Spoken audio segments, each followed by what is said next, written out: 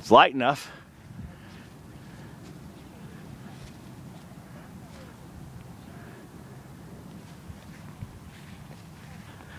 Now what was that kite? Uh, I made this one like 12, 13 years. Oh, now is this? Oh no, you had another one you said was your baby on Facebook. Oh, that was the Jabberwocky. Yeah. That's right, the Jabberwocky. That's right. I brought that one today too. Oh, cool.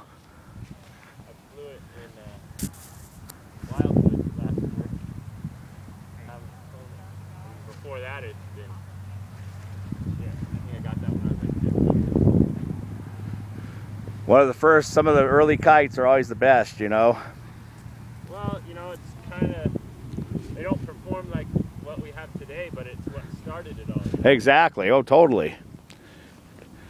I've got this old Flying Wings bat that I bought from Donald Nash that I'm going to probably put up when there's a little more wind, if there is. I'll just have it set up anyway. It's kind of, it doesn't really maneuver like the newer stuff, but then it has the pull and the noise anyway, you know.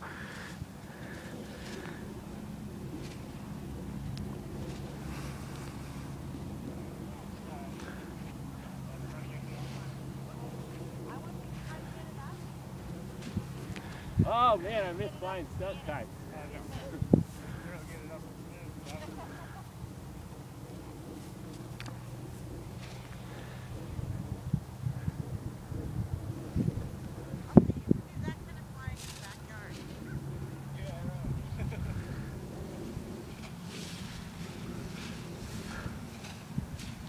Oh, I think Roland's here. Cool.